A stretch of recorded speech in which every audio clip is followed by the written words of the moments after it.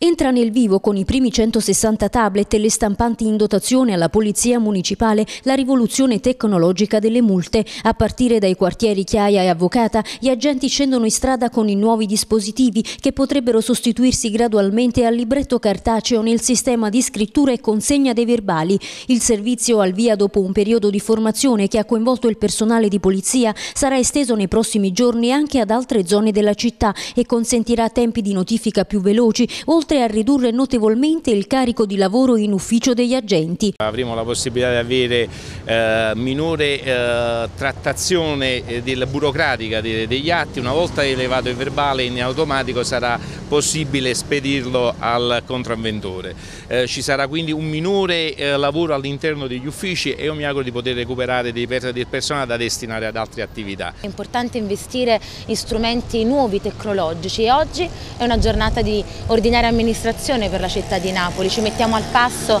con le altre città europee, con le altre città italiane, ma soprattutto la vera festa sarà quando? Quando noi questi, anche questi tablet non li useremo mai, perché i napoletani contribuiranno con il loro senso civico ad amare questa città attraverso il rispetto delle regole. Tra le novità tecnologiche anche l'installazione di telecamere sulle auto della municipale in grado di leggere e sanzionare i veicoli senza revisione e assicurazione ed a breve la possibilità possibilità di riprendere e multare le macchine in seconda fila. Delle telecamere che sono state eh, installate sulle nostre autovetture che ci danno la possibilità in modo dinamico di verificare delle violazioni che sono collegate alla mancanza di assicurazione, alla mancata revisione e ne avremo tra breve un'altra che ci permetterà di fare in automatico verbali per le autovetture in seconda fila.